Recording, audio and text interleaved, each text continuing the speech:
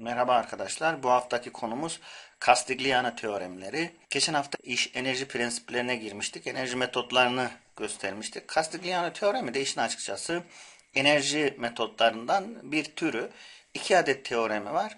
Esasında birbirinin aynısı şeklinde. Daha önce e, derslerde yani enerji metotlarında bahsetmiştik. Bir adet yük varsa şöyle hesap yapılır demiştik. Şimdi en adet yük olması durumu için de Castiglione teoremini kullanıyoruz. Castiglione teoreminin iki şekli var. Birincisi diyor ki bir yükü bulmak istiyorsak P şeklinde gösterilen herhangi bir yük yapının iç enerjisinin deformasyona göre türevi alınarak bulunur. İkinci teorem ise aslında bunun tekrar niteliğinde yer değiştirmeyi bulmak istiyorsak o zaman yine iç enerjiyi alacağız ve uygulanan yüke göre türevini alarak bulacağız. İkisi de aslında birbirinin e, tekrar niteliğinde. Biz ikinci teoremi genellikle kullanacağız. Teorem diyor ki yapıdaki yükü yüke göre iç enerjinin türevini al. Bu şekilde deformasyonu x, j yer değiştirmeyi bulabilirsin diyor. Burada U dediğimiz büyük U şekil değiştirme enerjisi diğer adıyla iç enerji. P dediğimiz uygulanan yük ki yüklerin türlerini hatırlayalım. Eksenel yük olabilir, dikey yük olabilir, burulma ve eğilme momenti şeklinde yükler olabilir. Ve x dediğimizde deformasyon. Deformasyonda türler var her bir yüke göre. Uzama kısalma olabilir eksenel yükte veya dönme açısı olabilir burulma durumunda. Dönme olabilir dikey yükleme durumunda veya çökme olabilir eğilme durumunda. Örnekler yapalım kirişimiz var. Bir ucundan duvar ankastre bağlandı. Bağlanmış. Diğer ucundan P dik yük uygulanmış. P dik yükün uygulandığı A noktasındaki YA çökme miktarını bulmamız isteniyor. Bu kirişin uzunluğu L ve bu kiriş E elastiklik modülüne sahip. I atalet momentine sahip. Şimdi P'nin dik yük olduğunu biliyoruz. Dik yük yapıda hem eğilme momentini hem kesme e, kuvvetine sebep olur. Biz burada eğilme momentiyle ilgileniyoruz. Kesme kuvvetini ihmal ediyoruz. Kesme kuvvetini de ayrıca analiz edebilirdik. Eğilme momentine ihtiyacımız var. Herhangi bir noktadaki eğilme momentini bulmak için bir kesit alıyoruz. Bir bir kesti. Bu kesitte serbest cisim diyagramı çiziyoruz. Ve denge denklemini yazmak suretiyle hem kesme kuvvetini hem de eğilme momentini buluyoruz. Biz burada eğilme momentiyle ilgilendiğimiz için bu bulduğumuz momenti kullanacağız. Sonra iç enerjiyi yazma, yazmalıyız. İç, iç enerjimiz eğilmeden mütevellit bir iç enerjidir. Bakın B, P kuvveti yapıyı eğer bu bir dik yüktür, yapıda eğilmeye sebep olur. Dolayısıyla biz eğilmeden kaynaklı iç enerji formülünü yazmamız lazım. Hatırlayalım o formül nasıl bir formül? U eşittir. Sıfırdan kiriş boyuna kadar, L'ye kadar m kare. Momentin karesi bölü 2e çarpı dx. Yapıda dikkat edersek bir adet kiriş, kiriş var. Kesti sabit. Dolayısıyla bir adet formül yeterli. M yerine de zaten biraz önce bulduğumuz eksi px'i yazıp karesini almak suretiyle iç enerjiyi p kare l küp bölü 6 e'i joule olarak bulabiliyoruz. Castiglione teoremi ne diyordu? Yapıdaki deformasyon ki burada artık çökmedir YA A noktasındaki iç enerjinin yüke göre türevini almamızı gerektiriyor. Yani şu ifadeyi P'ye göre türevini alacağız. P L küp bölü 3 EI şeklinde integralin ve biz bu iç enerjinin türevini almış oluyoruz. Burada şöyle bir yolda izleyebilirdik. İç enerjinin kendisini olduğu gibi burada yazıp hani integrali çözmeden integrali doğrudan burada yazıp çözümünü de alabilirdik şu şekilde. Yani türev integral içerisinde almış olurduk. İntegral içerisinde bir ifadenin türevini almak için zincir kuralını düşünelim. M kareli bir ifadeye göre e, türev alacağız. P'ler M karenin içerisinde olabilir. M karenin bir türevini alıyoruz. 2M şeklinde çıkıyor. İkiler sadeleşiyor. E, I kalıyor. Daha sonra da M'in kendisinin türevini alıyoruz P'ye göre. Ki M içerisinde P'li ifade varsa o da e, türevlensin diye bu şekilde de uygulayabiliriz. Bazen bu e, yöntem daha pratiklik sağlamaktadır. Bu yöntemi nasıl uygulayacağız? iç enerji ifadesini doğrudan Castigliano, Castigliano teoremine yazabiliriz. Yani buradaki integralin içerisine türev ifadesini gönderebiliriz. Yani integral almadan önce türev alma yoluna gidebiliriz. Zincir kuralı gereği m kareye göre bir türev aldığımızda m kare üssünü dışarı atarız 2 olarak. Aşağıdaki 2 ile sadeleşiyor. Ve bir de m'in kendisinin p'ye göre, yüke göre türevini almamızı gerektiriyor. Momentin p'ye göre türevi ihtiyacımız var. Momenti p'ye göre türevini alırsak, momentin eksi px olduğunu unutmayalım ama burada değişkenimiz artık p, türevi p'ye göre alıyoruz. Bu Bunun e, nihayetinde eksi x olarak momentin türev ifadesini buluyoruz. Moment bölü e, I, moment yerine eksi px yazıyoruz. e, I bölü momentin p'ye göre türevi yerine de eksi x yazıyoruz. Bu ifadenin tamamını artık integral dışına çıkartabiliriz. Nihayetinde p l küp bölü 3 e, I şeklinde bir deformasyon elde ediyoruz. Bir başka örnek çözelim. Yine bir ankastre girişimiz var. Üzerinde hem omega yaylı yükü var hem de p dik yükü var. A noktasında uygulanmış ve 2 e, metre boyunda bir ankastre kiriş. Bu kirişin E çarpı I değeri 5 meganewton metre kare. Omega'nın değeri de 4 kilonewton bölü metre. Dik yük P'nin değeri 6 kilonewton. A noktasındaki çökme miktarını bulunması isteniyor. Yapıda P ve omega yükleri dik yük olduğu için hem eğilme momenti hem kesme kuvveti oluşacak. Biz kesme kuvvetini ihmal ediyoruz. Eğilme momentine odaklanıyoruz.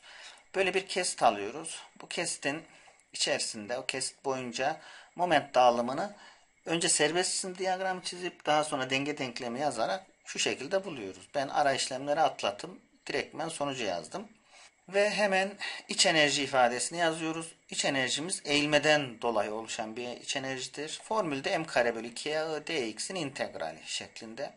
Daha sonra da Castiglione teoremini yazıyoruz. A noktasındaki çökme yapıdaki iç enerjinin kuvvete göre türevi ile bulunuyor ve e, iç enerji ifademizi açık haliyle yazıyoruz. m kare bölü 2'ye i dx'in integral şeklinde. Burada türevi doğrudan integralin içerisine alalım. O şekilde daha pratik olacak. dm bölü dp momentin p'ye göre türev anlamındadır. Moment ifademiz bu. Bunun p'ye göre türevini alacağız. Yalnız İlk bakışta x'e göre türev gibi düşünüp kafa karışabilir. Karışmasın. P'ye göre türev alıyoruz. P ifademizin e, yanında eksi x'li katsayı mevcut. Onun için türev eksi x. Bunu alıyoruz.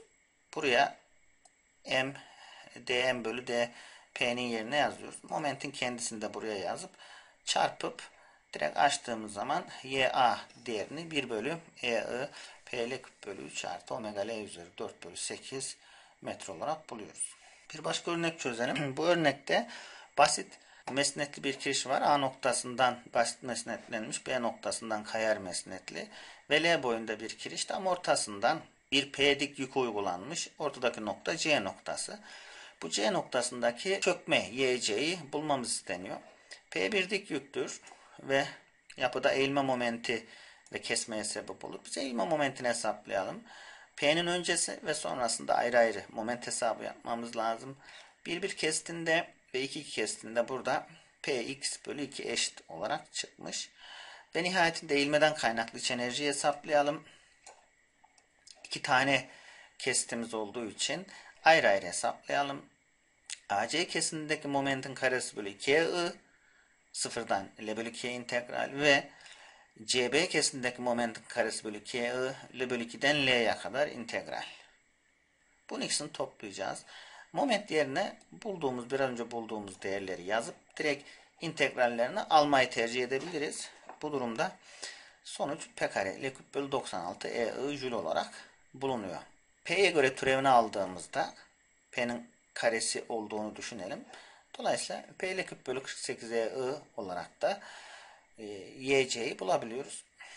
Burada e, yöntem olarak önce U'yu integralin dışına almak suretiyle bulduk. İkinci yol olarak U'yu integral dışına almadan türevimizi integral içerisine almayı deneyebiliriz. Doğrudan türev ifadesini integralin içerisine alıyoruz. Bu vesileyle önce integrali halletmek yerine önce türev hallediyoruz. Burada bizim dm bölü dp'ye ihtiyacımız var momentin px bölü 2 olduğunu düşünürsek ve p'ye göre bir türev alırsak türev ifadesi x bölü 2 olacaktır. İki tane terimimiz vardı unutmayalım. İki terim için iki tane AC ve CB kesitleri için momentleri integral ifadelerini yazıp burada e, türevi açarak değerlerini yerine yazarsak hani moment yerine px bölü 2 ki her iki kesitte de eşit ve momentin türevi yerine de x bölü 2'leri yazarsak yine her iki kesitte eşit. iki ayrı şekilde işlemleri yaparsak toplamda p l küp bölü 48 e i olarak yine aynı sonucu bulabiliyoruz. Bir başka örnek daha çözelim. Ankastre kirişimiz bu sefer ucundan bir eksenel yük uygulanmış 100 Newton şeklinde. Bu kirişimizin kesti 0.1 metrekareymiş ve elastiklik modülde 200 gigapascal imiş. Ee, yapıda oluşacak uzama deltayı bulmamız isteniyor. Bir eksenel yük olduğu için eksenel yük durumunda iç enerji ifademiz P kare bölü 2 AE dx ile e, bulunuyor idi. Sıfırdan 1 metreye kadar bunu integre edersek direktmen U'yu P kare L bölü 2 AE şeklinde bulabiliyoruz. Ve bu ifadenin P'ye göre türevini alırsak da PL bölü AE olaraktan e, delta uzamayı buluyoruz. Sayısal değerleri yerine yazdığımızda 5 çarpı 10 üzeri eksi 9 metre olarak sonucu bulabiliyoruz.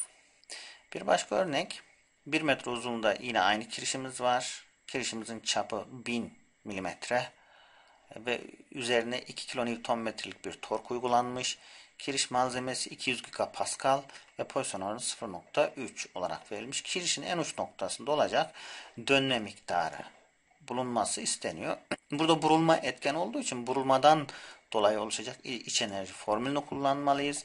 O da T kare bölü 2 GJ sıfırdan 1 metreye kadar bu formülü kullanacağız. Castiglione teoremi fi verecek deformasyonumuz dönme.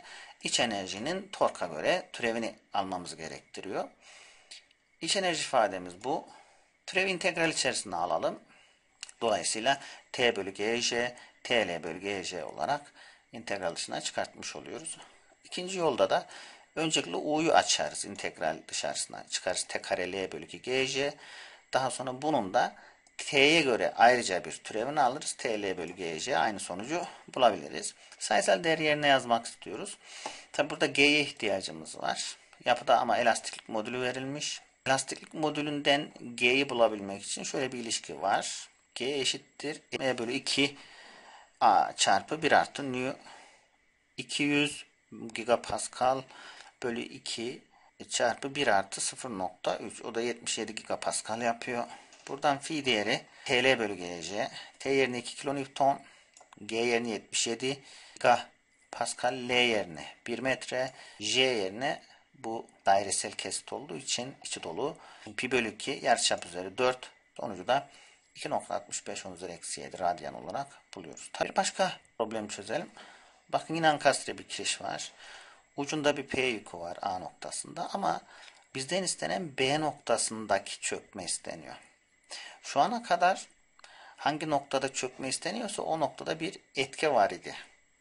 Etkinin olmadığı yerde Castiglione teoremini nasıl uygulayacağız? Castiglione teoremini normalde uygulayabilmek için muhakkak burada bir dik yük olması lazım ki çökmeyi bulalım. Veya bir moment olacak ki dönmeyi bulalım. Herhangi bir şey olmadığından, bizden de çökme istendiğinden, çökmeye sebep olacak bir yük de dik yük olduğundan burada sanki bir dik yük varmış gibi düşünüyoruz. Hayali bir dik yük. Şöyle bir dik yük değeri de sıfır. Adına Q diyelim. Değeri sıfır olduğu için zaten yok hükmündedir. Ama Castigliano teoremi uygulamamızı da sağlar. Bu dik yükler yapıda eğilme ve kesmeye sebep olur. Kesmeyi ihmal ediyoruz. Eğilmeye odaklanıyoruz. Yükün bir e, öncesinde bir de sonrasında iki ayrı kesit alıyoruz. Çünkü iki etki iki farklı moment oluşabilir. Bir bir kesindeki momentimiz eksi px. 2 2 kesinden momentimiz ise eksi bx çarpı q çarpı x eksi l bölü 2 olarak buluyoruz. Her iki kesitteki momenti. Bunu sonucu direkt veriyorum. Yapıdaki iç enerji eğilme momentinden dolayı olduğu için moment esaslı iç enerji denklemimizi yazıyoruz. Kestimizin 1 1 kesti ve 2 2 kestine özel olarak iki ayrı e, integral alıp bu integralde moment yerine direktmen ifadelerini bir bir kesit için eksi px, iki iki kesit için de eksi px q çarpı x eksi l bölü 2 yazıyoruz. Burada u'yu direkt integralini integralin dışına çıkartıp çözmeyi tercih edebiliriz. Ama daha pratik olabilir. Castiglione teoremini yazıp direkt türevi integral içerisine almayı düşünebiliriz. Bakın şuna dikkat edelim burada. B noktasındaki çökme istendiği için B noktasında da Q yükü olduğu için iç enerjimizi Q yüküne göre türevleyeceğiz. A istenseydi ki hep örneklerimizde A noktasına bakmıştık. Orada da P dik yükü var idi. O zaman bunu kullanırdık. Ama B noktasında Q'ya göre türevini almamız gerekiyor. Burası önemli. Ve tüm ifadeyi, tüm enerji ifadesini, şu en son enerji ifademizi alır. Q'ya göre türevlersek, bu türev ifadesini integral içerisine atarsak her birisinde, integralin içerisi şu hale gelir. AB bölgesi için m bölü EI delta m bölü delta Q ve BC bölgesi için aynı ifade. Değerlerini yerine yazmamız lazım. Yani A bölgesindeki momentin Q'ya göre bir türevi, yine BC'deki momentin Q'ya göre türevi lazım. AB bölgesindeki momente odaklanalım. Px. Bu Px'i Q'ya göre türevlersek dikkat ederseniz ifadede Q ifade olmadığından sonuç direktmen sıfırdır. İkinci ifade BC'yi Q'ya göre türevlersek şuradan bir ifade gelmez. Şuradan da Q'nun katsayısı gelir. X eksi L bölü 2 şeklinde bir ifade gelir. Bu ifadeleri alır. Şuradaki yerine yazarsa ki sıfır bulmuştuk AB bölgesindekini. Şu terim otomatikman sıfıra gider. Geriye tek terim kalır. Bunu da açık halini yazarsak yani MBC yerine eksi PX eksi Q X eksi L bölü 2 yazarsak BC'nin e, türev ifadesinde de şunu yazarsak dolayısıyla ifade şu şekilde gelir. Ha burada Q'nun sıfır olduğunu biliyoruz. Q yerine sıfır yazarız. İfade daha da sadeleşir. Ve bunun çarpımını yapıp dışına aldığımızda da eksi 5P L küp bölü 48E olarak bulabiliyoruz. Arkadaşlar Castiglione teoreminin özü esası budur. Ve biz genellikle şu ifadeyi kullanıyoruz. ikinci Castiglione teoremini. E, ve bu bize diyor ki herhangi bir yük varsa o yükün olduğu yerde o yük dolayısıyla olan deformasyonu iç enerjinin yüke göre olan türeviyle bulunur diyor Castiglione teoremi. Arkadaşlar Castiglione teoremi ile ilgili bu haftaki dersimiz bu kadar. Hem bu haftaki dersi hem de dönem dersini burada kapatıyoruz. Hepinize başarılar diliyorum.